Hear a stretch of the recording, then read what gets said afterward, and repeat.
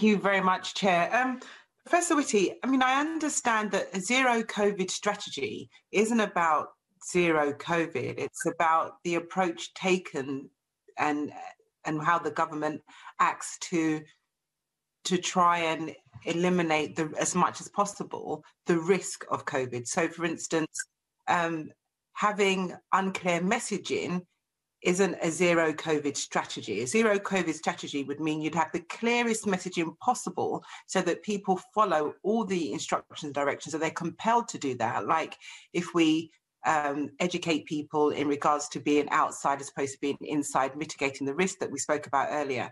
That is a zero COVID strategy. So the strategy is different from saying we want zero COVID. Is that not correct? Well, I, I, I'm, I have to admit that as a scientist, for me, zero means zero. So if you're saying I want a zero COVID strategy, what you're saying is I want zero COVID cases. Now, you can say that, what I'm just saying is I don't think that's a realistic option. Now, if people say, well, I don't, my zero, I don't mean zero, I mean another number, fine, but then put a